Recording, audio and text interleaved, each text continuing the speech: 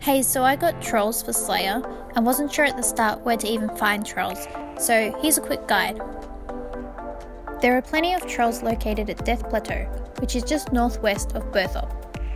First, teleport to Burthorpe Games Room using a Games Necklace, or you can use the mini games teleport. If you need a bank, there is one in the Warriors Guild.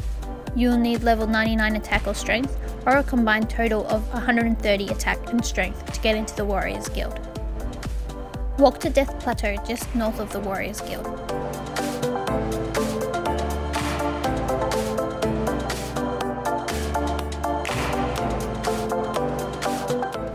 As you enter you'll need to run past troll rock throwers and it is good to have protect from range on here.